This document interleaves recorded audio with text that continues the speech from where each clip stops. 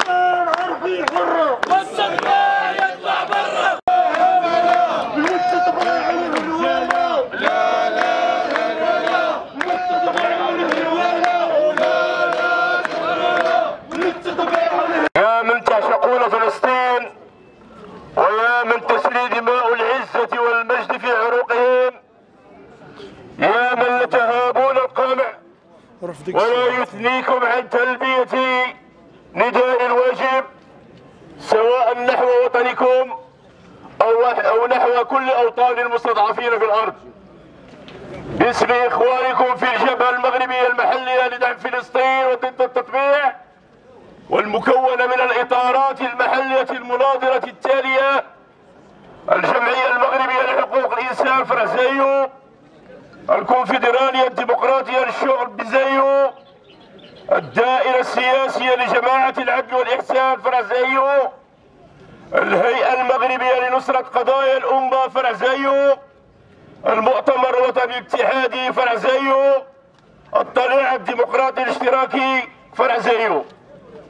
نشكركم على تلبية نداء الجبهة المتمثل في المشاركة القوية والواسعة في تظاهرات اليوم الثاني التضامني مع فلسطين تحت شعار الشعب المغربي بصوت واحد من أجل التنديد بالجرائم الصهيونية ودعوي ودعم المقاومة الفلسطينية وإسقاط التطبيع وتجريمه.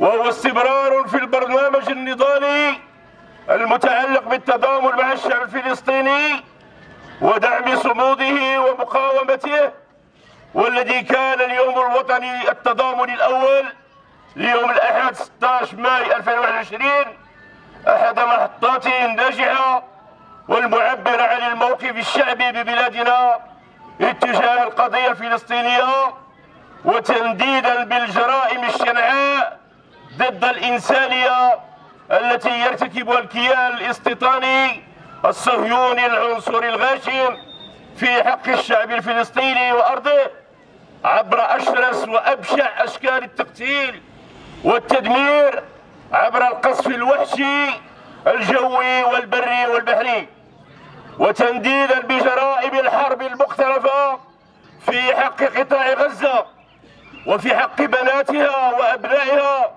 وأطفالها ونسائها ورجالها شيبها وشبابها.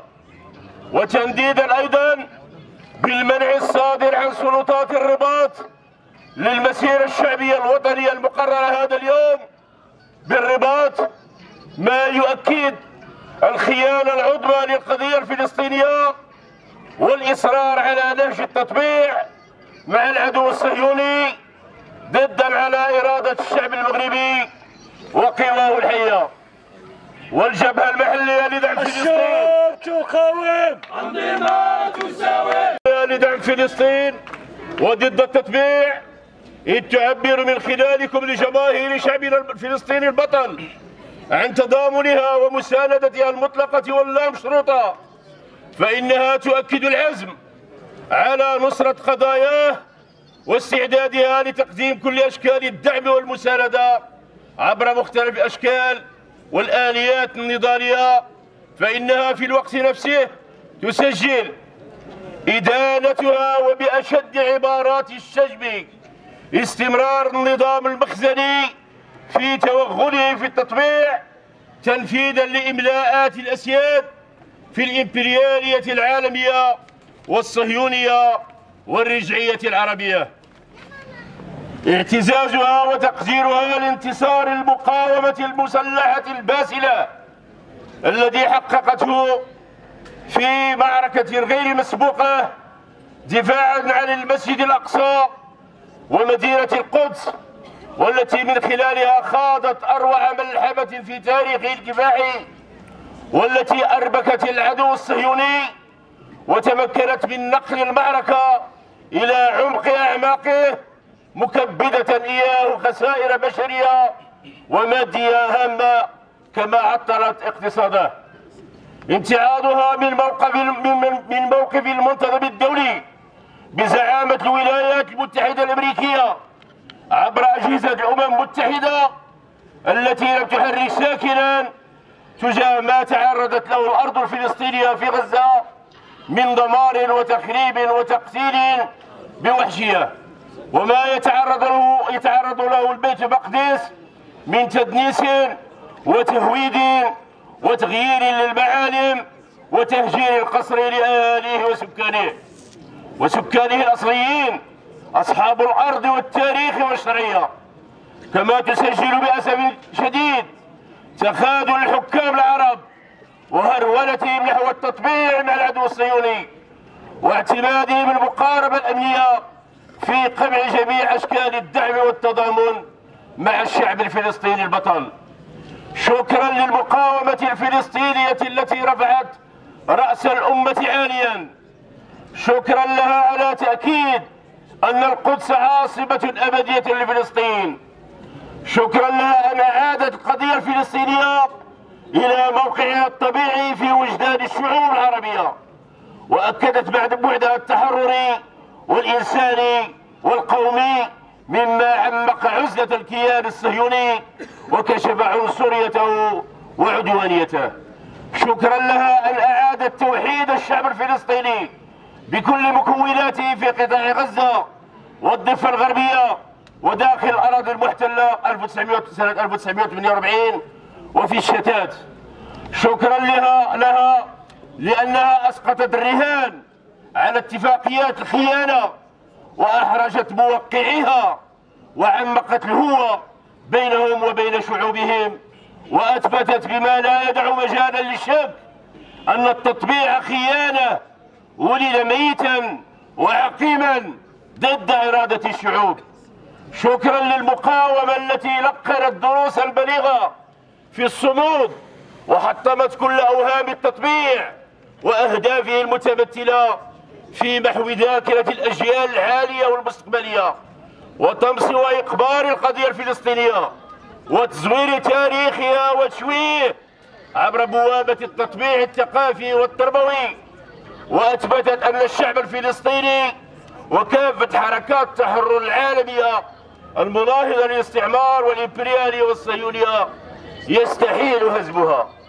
شكرا لها. أن أثبتت أن الصراع مع المشروع الإمبريالي الصهيوني هو صراع وجود لا صراع حدود. فالشعب, الم... فالشعب الذي يقدم العزاء بالأهازيج وبأشكال نوعية راقية وبمعنويات مرتفعة يستحيل هزمه وبوجود هذا الجيل على امتداد الوطن الفلسطيني المحتل حتما سينتصر. وسيرحل الغزاة ويبقى الشعب صاحب الأرض والتاريخ وحامي الثوابت. شعب لن يموت. المجد والخلود للشهداء ورحم الله الشهداء وأسكنهم فسيح جنانه ومتمنياتنا للجرحى بالشفاء العاجل. التحية والتقدير لكل أحرار العالم وللشعوب العربية. على دعمهم للملحمة البطولية للشعب الفلسطيني البطل. الخزي والعار لكل الخونة والذل والهوان للمطبعين والمهرولين.